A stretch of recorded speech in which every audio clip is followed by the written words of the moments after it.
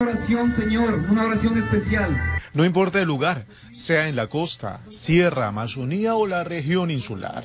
Los elementos policiales a diario salen a las calles a mantener el control en los distintos puntos del país.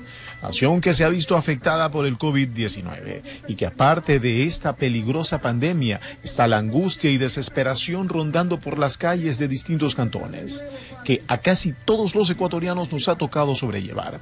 Pero, más allá de la enfermedad, situación difícil, momento de pesar, está el amor del Todopoderoso.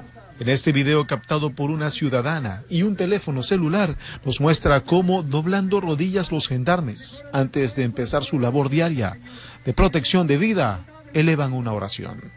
Desecha, Señor, toda cosa mala.